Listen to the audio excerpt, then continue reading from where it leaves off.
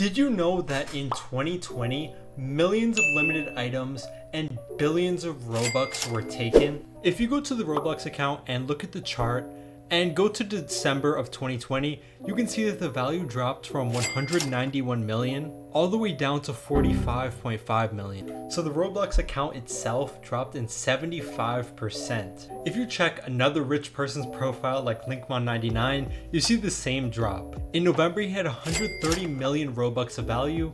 Then in December, it dropped all the way down to 22 million tons of limited items just completely disappeared from Roblox. If you compare the items from before and during this huge drop, you see a ton of them missing. Here's what it looks like before, and here's what it looks like after. As you can see, a ton of Dominuses are missing. Dominus Infernus, Dominus Frigidus, Dominus Astra are all gone, and tons of other huge limited items as well. These items just overnight completely went missing from Roblox, and nobody even owned them anymore. And it's not even only the big items as well. Also a ton of smaller items went missing and this glitch literally affected everybody on Roblox, affected millions of users and took away billions of Robux. And if you try to search up anything about this glitch, you can actually find no information about it. And to this day, nobody really exactly knows what happened to all these items that mysteriously went missing. It was literally just an overnight thing. One day everybody had their items and the next day they just went missing. And this glitch was on Roblox for about five days, from December 4th all the way until December 8th. It took five days for the people who lost their items to actually eventually get them back. I don't believe it was a hack or that some kind of scammer got into Roblox or anything like that.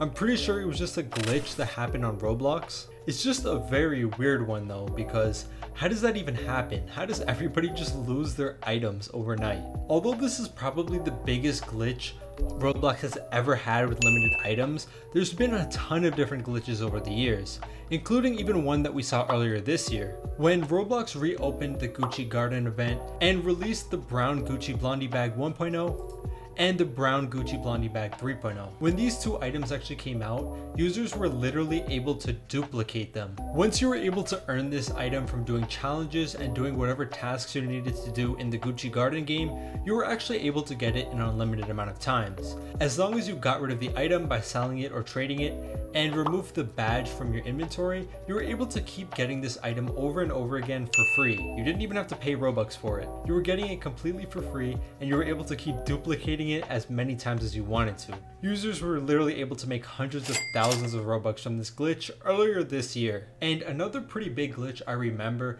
there used to be tons of limited items that used to show up for one Robux all the time. And I don't mean people putting them for snipes or putting items up for super cheap, but limited items would literally be stuck at selling for one Robux. Nobody could buy them, nobody could take them off sale, nothing would happen to these items. They would just stay at one Robux and they would just sit on the catalog. There's nothing you can do about it. And literally for weeks, these items were just stuck there at one Robux. Obviously this was very bad for these items because it made them sell a lot less frequently as the lowest price was one Robux and if you try to buy it, nobody could. Another glitch is one that I actually covered in a video before with the gingerbread immortal sword. This item came out back in December of 2018. This item was supposed to come out for 11,000 Robux for only 24 hours, and only 100 people were supposed to be able to actually buy it. But instead, Roblox users were actually not even able to buy it. If you tried to buy it, even if you had 11,000 Robux, you wouldn't even get the item.